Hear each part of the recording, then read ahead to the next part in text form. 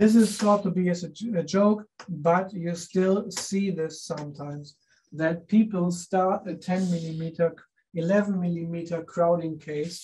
And especially, you know, these Facebook groups where people put a case in and then ask other, help me with a treatment plan. And you see massive, massive, massive crowding, a really problematic case. And there will always be one idiot, at least, sorry to say that, one idiot telling you, oh, that's a non-X case. Doesn't even have a look at X-rays, anything else. Just, oh, that's a non-X case, just to get all the extension, attention